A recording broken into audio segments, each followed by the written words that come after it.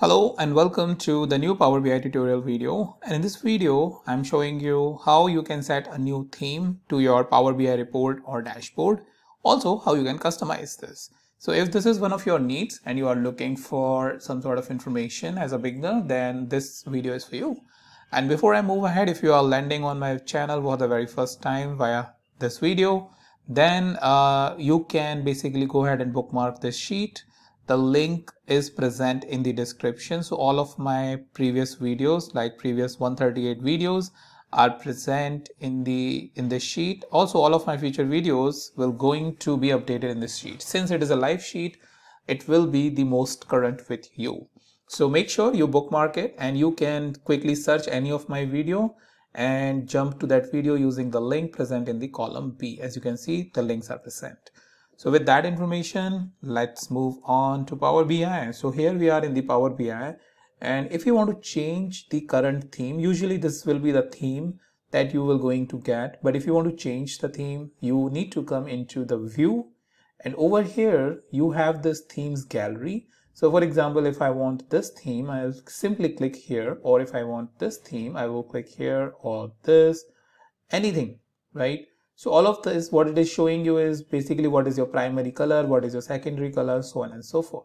So also if I click here on this drop down, you will see that you have further more options. So you might have got idea by this time that you can sell, you can get whatever you need by simply selecting it.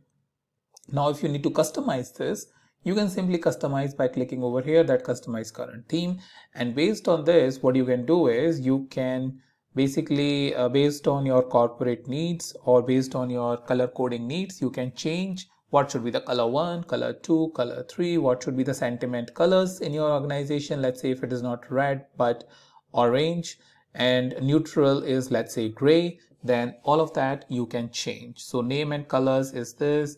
Uh, some of the text options like general um, title card and all of this is um, is basically something that can be changed. The background color if you want to change the background color you want to change the border so and so forth. I mean you have this lot of lot of different options that you can change to this theme.